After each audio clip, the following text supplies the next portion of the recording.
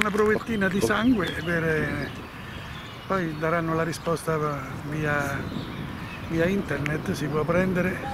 Mi sembra una cosa positiva, una bella iniziativa. Mi hanno contattato telefonicamente, eh, come estratto da, da, da, dall'Istat e ho aderito. Un test che come cittadina italiana lo trovo estremamente giusto, molto democratico e anche per gli altri, quindi sono stata selezionata tramite un numero loro e quindi avevo delle caratteristiche della mia fascia d'età credo.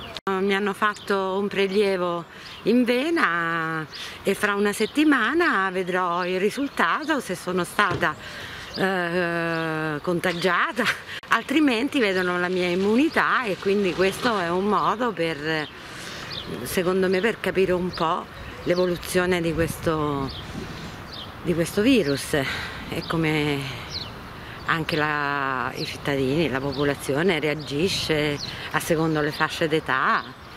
Noi stiamo facendo un progetto che come credo sia stato già ampiamente diffuso dai media, che è praticamente un progetto del Ministero della Salute insieme all'Istat e all'Istituto Spallanzani sulla sieroprevalenza rispetto al Covid 2019.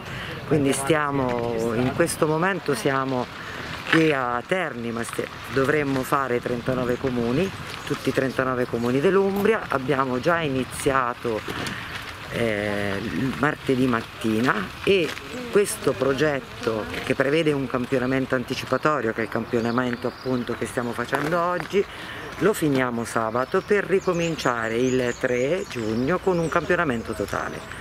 Queste persone che sono state contattate sono state contattate telefonicamente, arrivati qui facciamo firmare un consenso informato, vengono qui e, e niente, fanno il prelievo da, dalle sorelle che sono appunto infermiere e, e, poi il prelievo verrà trasportato presso il laboratorio analisi di, eh, dell'azienda ospedaliera.